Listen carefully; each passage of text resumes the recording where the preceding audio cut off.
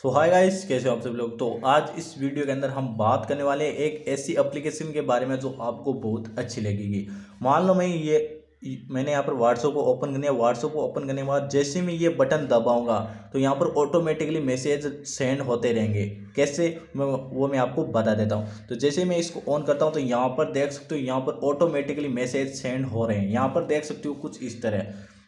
तो अगर आप भी ये मैसेज यहाँ पर सेंड करना चाहते हो कुछ इस तरह, और वो आप जानना चाहते हो कि वो कौन सी एप्लीकेशन है जिससे मैंने ये सब किया है तो बने रहिए वीडियो के एंड तक। मैं आपको पूरी जानकारी बताऊँगा इस वीडियो के अंदर। तो इसके लिए आपको अपने प्ले स्टोर में चले जाना है।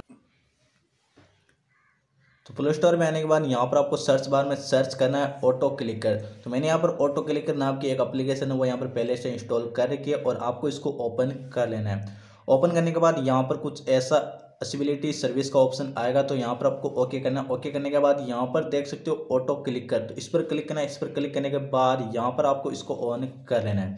ऑन करने के बाद यहाँ पर ओके करना है। ओके करने के बाद अब आप, अब यहाँ पर आपको बैक आ जाना है। बैक आने के बाद वापस आपको उस एप्लीकेशन को ओपन करना है। ओपन करने के बाद यहाँ पर देख सकते हो जो सबसे जो सबसे पहली सेटिंग है वो यहाँ पर देख सकते हो। इसे आपको एन डिसेबल कर देना है ठीक है तो यहाँ सॉरी यहाँ पर अनेबल कर देना है अनेबल करने के बाद यहाँ पर बैक आ जाना है बैक आने के बाद अब यहाँ पर आपको व्हाट्सअप पे आ जाना है ठीक है व्हाट्सअप पे आने के बाद यहाँ पर मान लीजिए कोई भी एक स्टिकर मैं यहाँ पर चॉइस कर लेता हूँ ठीक है तो मैं यहाँ पर कोई एक स्टिकर चॉइस कर लेता हूँ मान लीजिए मैं ये स्टिकर यहाँ पर चॉइस कर लेता हूँ ठीक है तो जो ये यहाँ पर जो एरो सॉरी यहाँ पर जो गोल आइकन आ रहा है ये यहाँ पर आपको ले आना है ठीक है इस दिल के अंदर ये लेने के बाद यहाँ पर आपको इसको पल्ले कर देना है। पल्ले करने के बाद यहाँ पर जैसे कि देख सकते हो, यहाँ पर ये ऑटोमेटिकली यहाँ पर ये टाइप हो रहा है। टाइप होने के बाद यहाँ पर अगर आप इसे पॉज करोगे पॉज करने के बाद यहाँ पर आप इसे एक साथ सेंड कर सकते हो, ठीक है? तो ये थी पहली ट्रिक अब वापस आपको उसी अप्लीकेशन में चले जाना है। अप्लीकेशन में आने के बाद यहाँ पर इस जो फीचर है, जो ये दूसरा फीचर है, इसको अनेबल करना है। ये अनेबल करने के बाद वापस आपको अपने व्हाट्सएप में आ जाना है। व्हाट्सएप में आने के बाद यहाँ पर क्या है कि देख सकते हो, एक प्लस का आइकन शो हो रहा है।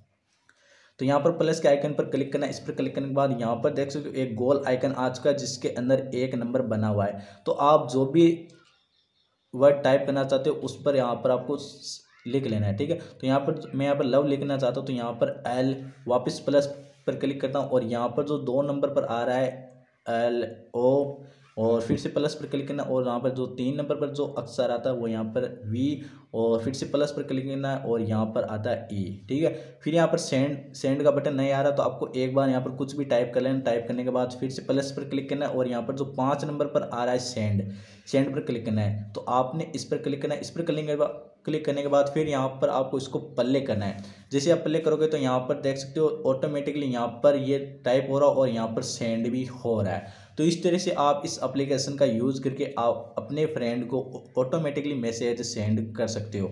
तो यही थी आज की वीडियो में और उम्मीद करता हूँ आपको ये एप्लीकेशन पसंद आई होगी। अगर पसंद आई है तो चैनल को सब्सक्राइब ज़रूर कर देना। मिलते हैं अगली वीडियो में, तब तक के लिए बाय बाय